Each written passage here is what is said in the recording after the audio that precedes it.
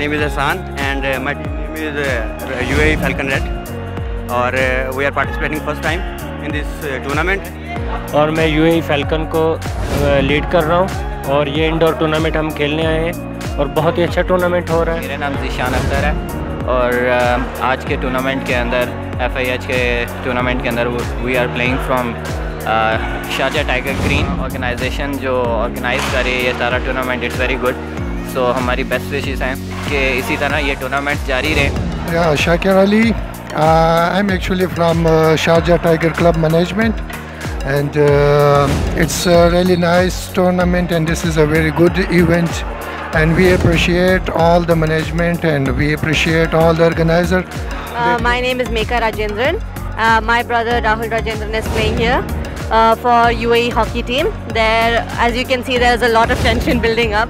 each teams are trying their best uh, to score a goal, and the other team is also trying to defend it. So it's very exciting. Hello, I'm very happy to hear about this uh, tournament that's organized by the UAE Hockey Federation and for Raza and the um, whole hockey association, of, including Mr. Ismail and Mr. Atik Juma. I think congratulations to them because it's a very great idea that they come up with to include the young UAE nationals and also other teams and mix them.